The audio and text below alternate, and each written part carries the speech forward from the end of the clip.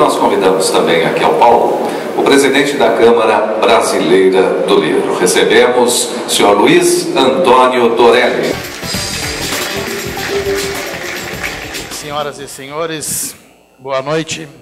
Muito bem-vindos a esta festa de confraternização, na qual a comunidade do livro celebra mais um ano de ótima convivência e luta unida em prol do livro e da leitura no Brasil.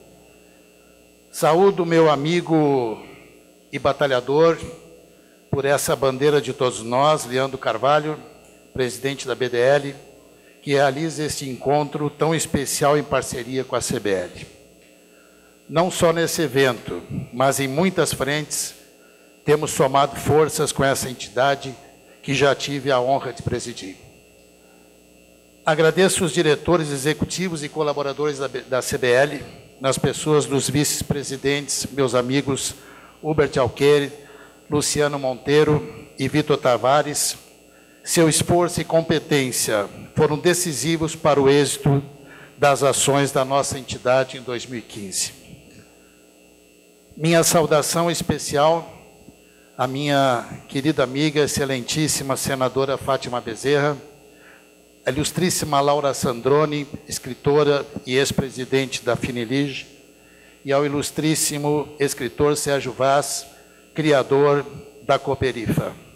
É uma honra e um ato de justiça que a CBL lhes outorgue este ano o título de Amigo do Livro. Parabéns a vocês.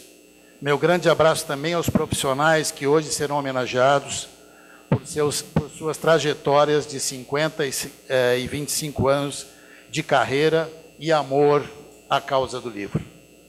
Cumprimento ainda a Fundação Itaú Social, que receberá da BDL o Prêmio Difusor do Livro por seu programa Itaú Criança.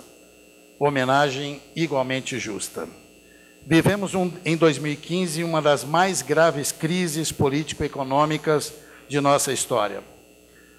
Para o setor editorial, não bastasse a restrição do mercado, como ocorreu com os demais setores, ainda houve o duro baque dos atrasos nos pagamentos, drásticas reduções e cancelamentos em programas de aquisição de livros no governo federal, em estados e municípios.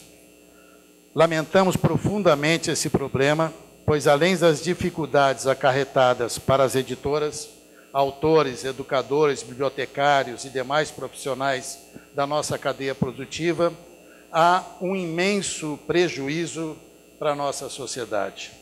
É necessário, sim, que todos, todas as instâncias governamentais equilibrem suas contas. Porém, isso não pode ser feito à custa do conhecimento, da cultura e da democratização das oportunidades, que está escrita nas páginas dos livros e se materializa nas salas de aula e nas bibliotecas das escolas públicas.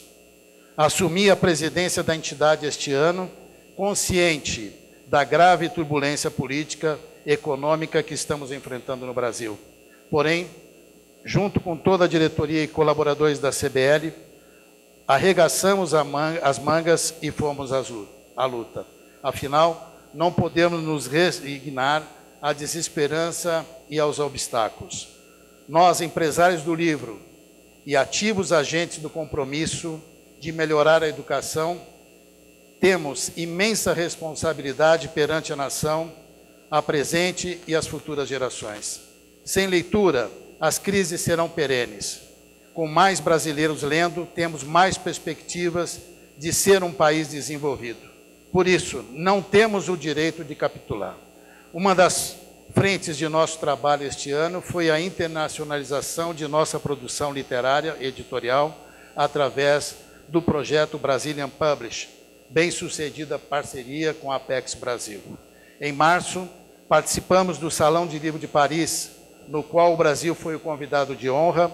No mês de abril, nossa rica produção editorial esteve presente na Feira Internacional do Livro Infantil e Juvenil de Bolonha, em outubro, participamos da Feira do Livro de Frankfurt e acabamos de retornar da Feira Internacional do Livro de Guadalajara. Também no contexto da internacionalização do livro, criamos a Comissão para a promoção do conteúdo em língua portuguesa. Nosso propósito é que o Brasil avance como exportador de livros físicos e direitos autorais. Trabalhamos muito para esse estímulo ao livro, apoiando feiras e eventos em todo o Brasil. Quero destacar a participação da CBL na organização do primeiro EMIL, o Encontro Mundial da Invenção Literária. Foi um sucesso, com 105 escritores nacionais e 12 internacionais. É preciso enfatizar ainda o êxito do Prêmio Jabuti, no qual incluímos algumas boas novidades, somadas à sua alta credibilidade e inigualável prestígio. Sua realização este ano demonstrou a força do livro. Recebemos 2.575 inscrições, um dos índices recordes da nossa história. Também em 2015, as entidades do livro, a BDL, a BDR, a ABEL, a Abrelibus, a NL, CBL e SNEL, mantiveram uma agenda forte e positiva para a discussão de assuntos de importância para o setor. Foram várias reuniões ao longo do ano, com destaque para a lei do preço fixo, que foi amplamente debatido com muita responsabilidade e maturidade, o que demonstrou a forte união de todas as associações e resultou em uma proposta de consenso que foi entregue em mãos à senadora Fátima Bezerra, uma das nossas homenageadas de hoje. Ao final de mais um ano permeado de dificuldades, é preciso vislumbrar o futuro, que nos exige imensas responsabilidades. Temos muito a fazer pelo livro na sequência do muito que já foi realizado.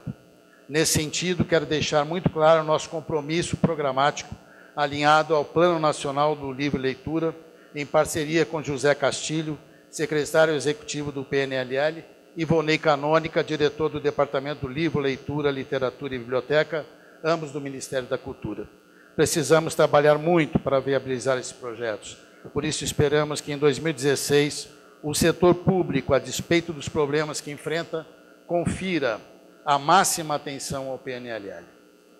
Do mesmo modo, esperamos que as instâncias governamentais restabeleçam em sua plenitude todos os programas de compra de livros, paguem em dia e resgatem, assim, o senso de prioridade de um setor imprescindível. Mais do que nunca e para sempre, o livro é produto de primeira necessidade. Em sua forma tradicional ou eletrônica, é uma bússola no universo da complexa civilização contemporânea, na qual é preciso referências confiáveis e precisas no campo da informação e do conhecimento. Só o livro, referendado pela credibilidade das editoras, dos autores e de todo o universo profissional que o cerca, pode orientar os indivíduos e estabelecer parâmetros para verdades e mentiras num mundo onde essas, eh, essas variáveis misturam-se na evolução incontestável, incontrolável da web. A leitura é a parceira mais leal e decisiva dos professores, esses heróis da pátria na missão de ensinar. O livro e a leitura são nossa causa que sejamos vitoriosos na sua defesa e fomento em 2016. Meus amigos, muita saúde, paz, alegria, realizações para todos vocês e suas famílias nesse Natal e no Ano Novo. Aproveitem bastante essa nossa festa de confraternização e muito obrigado a todos vocês.